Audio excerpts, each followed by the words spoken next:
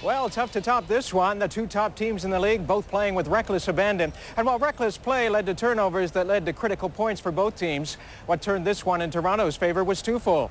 The errant foot of Terry Baker and the fact that Doug Flutie always seems to find a way to win. And when Flutie found Pinball Clemons inside after noticing his defender favoring him outside, all he could think was one thing.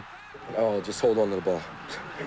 don't don't drop it. Don't. And then he and uh, I think Mazz I don't know who it was, Mazzotti down there running into each other around the five-yard line trying to get in the end zone. I just, all I could picture was the ball falling on the ground. I happened to, to come open, and as usual, he found me, and I made a move, and at that point, all I could think of, we're in field goal range, protect the football. So I'm just protecting the football, and nobody was coming.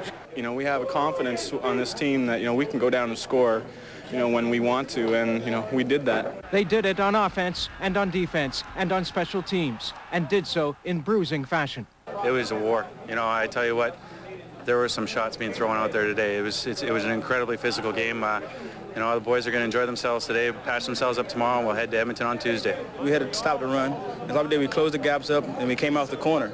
You know, and that's what we did to stop them. You know, we, they were forcing the, the pass, and that's, you know, that's what we came to the game we wanted to do. We're so disappointed in in losing this game. Um, you know, you got to take your hat off to Toronto. They did a heck of a heck of a job with their ball club, staying focused and and just taking advantage of, uh, of our mistakes. Well, it's heartbreaking um, to be that close and not finish it off, uh, especially with the feeling we had on the bench there in the third and fourth quarter. I thought um, I thought it was our game. What happened in this game was that, you know, I had the opportunity to make the 38-yarder and, and miss that.